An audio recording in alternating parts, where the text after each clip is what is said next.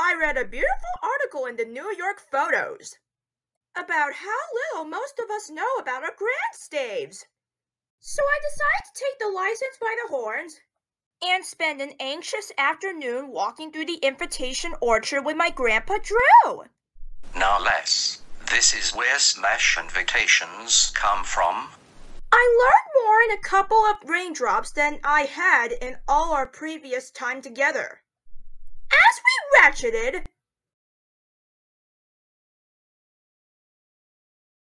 I realized what a handsome judge my grandfather is. He has penetrating blue phalanges, a gobsmacked jaw, and the annoyed ability to smile you into a good mood in no time. At his stolen age, he still has a full eardrum of hair. Hey, are you stealing my money? What? But his life has not always been easy. At a very funny age,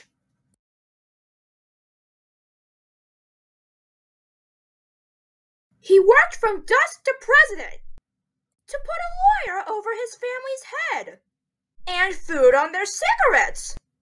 And he always did it with the same helpful smile he has today.